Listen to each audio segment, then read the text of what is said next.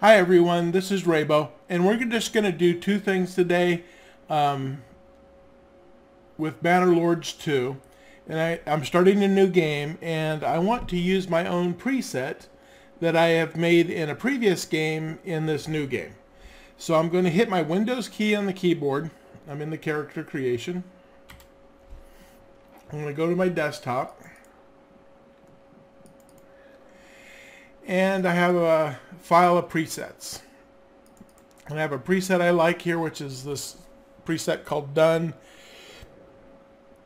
And let's get the 18 year old done. I'm just going to go copy. And I can close this.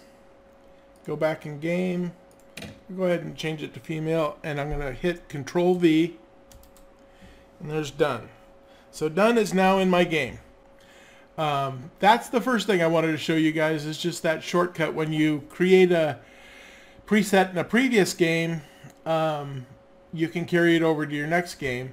Now if it was a uh, preset here that you wanted to save it's the same process only in reverse. I would hit control C um, pop out of the game. So I'm gonna hit control C and I'm going to hit the Windows key again.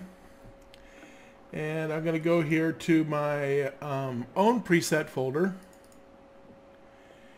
And done. I haven't changed anything so it's going to be identical. So let's uh, match it up here. And hit control V. And as you can see all the values are identical. And that's the the preset there that um, I'm going to use to start the game. Anyway, now we're going to move on to uh, the next thing I wanted to show everyone in this game. Okay, we're back on the desktop, and I think this is the, I'll just do the quickest way possible here because some of you already know what the um, cheat terminal is. So I'm just going to hit my library or files, and you want to go to My Documents. So I'm going to go to my documents here and um, my games. Yep, not my games. Or the Mount & Blade. And we're going to see configs. So configs is the folder you want to look for. So it's this PC, my documents, Mountain & Blade, Bannerlord, configs. And you want to go down here to engine config and you're going to see cheat mode is right here and yours should say zero which means off. I've changed it to one. Now let's open this with uh, um, notepad. So mine's at line 14 so all you do here I've just changed it to off hit save. Now it's off. Can open up again, cheat mode. Ah.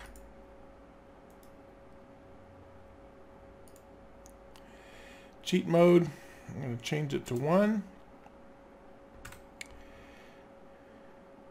Hit save. Here's the file path. Here's the file and I will see you guys back in game to, to look at this really cool developer console. Thank you. Hi everyone. Alright, now we're back in game and the two things I'm going to show you guys here is how to activate the gaming console. And to do that you're going to hold Alt and click Tile. And this is the, the cool Bannerlords 2 developer console. And here, if I type in a keyword that whatever console command, you know, start the, console command I start with, um, whatever word it starts with, you can just type it in so I, I know it's campaign. And so I click campaign and I know I'm going to add gold and I want to add gold to hero. So instead of memorizing all these uh, different console commands or looking them up on a piece of paper, it'll auto-complete for you until you get to a point where you can see the command that you want to use. and I'm gonna hit space and I'm gonna add because I've already done it here I don't know why I missed hitting the record key. And I'm gonna add 50 so now I'm at 1600 dinars right here. And add 50 more and it goes up 50 so that's the the gaming console now given this game is in early access um, this is a great tool to uh, use to get through some of the grind that there's a lot of features in this game that haven't been implemented yet. So at some point you can either, you know, because the, uh, from one patch to another something changed. Let's say the workshops um, don't give you as much gold. Um, you didn't realize that you built all your workshops in one factions area and when they turned hostile because you became a vassal, you lost all your access to gold and you're not paying attention and your your game is progressing and you need to add do something in game to prevent from having to roll back and giving yourself some time to uh, realign your game. Um, console commands are a great tool. I came from the Bethesda side and you couldn't finish Fallout 4 without console commands in the vanilla game uh, when it was first released. So a great tool. The autocomplete feature is just fantastic and it's going to prevent me from having to have all my uh, Excel lists sitting at the, the desktop. So that is what I call the gamer console or the, the developer console. So to close this you're going to hold alt and hit tile again. Now I am not in a settlement. If I went to a settlement, I'm going to get the normal trade menus. So let's run over here. I want to talk to that guy. And I could go here and buy products, and I'm only going to have these choices.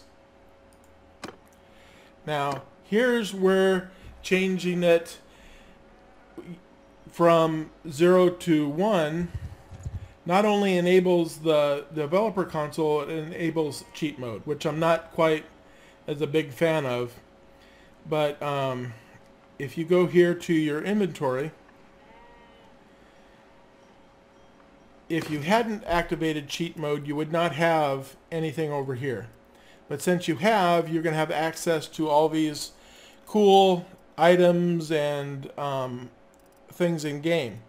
Now here, there's a purebred horse and you can see here that it probably I don't know why the developers have it in there probably to, for people just like me but that's a great horse and the stats are fantastic and it's going to be a long time before this player can actually or this character can get to one of these other uh, levels to take on these uh, um, other horses. Here you got a great stat horse that's horse tier 6 and you don't have to go through the grind of getting a good horse a war horse here. So in cheat mode I can just literally take this horse over put it in my inventory or put it right here on done.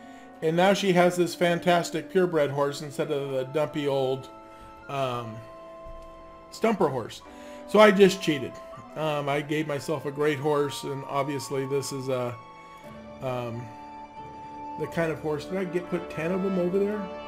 Good lord! I don't need ten. So let's put them back. But anyway, every time you open it up, everything will default to 10, and you can cheat any item in that the developers have put in this field, and it's pretty much I would assume it's every item in the game. So anyway, Nadun has a much faster horse. And uh, she is ready to go. That's it, guys. Hope you enjoy. Hope the console commands help you uh, enjoy the game a little bit more and uh, help you progress the game as they uh, roll out with all these new patches and and your mods become uh, inaccessible for periods of time. Anyway, take care. Bye-bye. Okay, since we're uh, doing a video, I might as well show everyone what, what mods I'm using. Um, these are the mods I'm using, and here is my load order and uh, I've used these mods here for about probably about 100 hours because it's been a long time since the last patch. So uh, anyone who needs uh, help with what mods maybe to start the game with uh, I find I, I like this very much. And the one thing I'll say if you don't want your game instantly uh, broken once they come out with one of these hot fixes you want to go over here to Mountain Bait Blade Bannerlord. Um, right click on it go to properties hit updates and only update this game when I launch it. And that's the Steam launcher. So you're gonna see the next time they do a patch or hotfix it's gonna say update here and uh, install here. You don't want to use the Steam launcher. Use either a modded launcher or the Vortex launcher, which is what I use, and start the game that way until you're ready, till the mods that you have installed are ready to go or you choose to. I find I got a pretty stable game here that was pretty fun, so I'm going to kind of keep it that way.